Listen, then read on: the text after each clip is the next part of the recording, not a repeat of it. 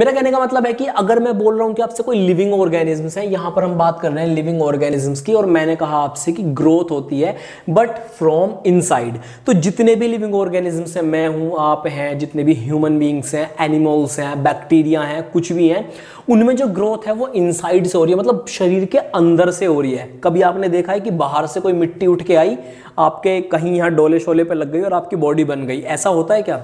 नहीं होता है। बल्कि अगर आपके मसल्स भी गेन हो रहे हैं तो जो मसल्स हैं, वो आपके अंदर से बन रहे हैं। बाहर से कोई चीज़ आके यहाँ पर नहीं जमा हो रही है। हैं? अब आप बोलोगे, सर बॉडी दिखा रहे अरे नहीं, समझाने के लिए दिखा रहा हूँ सिर्फ़। तो लिविंग ऑर्गेनिज्म्स में जो ग्रोथ होती है, वो इनसाइड से होती है, अंदर की तरफ़ से होती है। बल्कि, और जो ये जो नॉन लिविंग ऑर्गेनिज्म्स है, जैसे कि मैंने आपको एग्ज़ाम्पल दिया माउंटेन्स इनमें जो ग्रोथ होती है, वो कैसी होती है? इनमें आउटसाइड इनमें जो ग्रोथ होती है वो बाहर की तरफ़ से होती है। जैसे कि मिट्टी उड़ के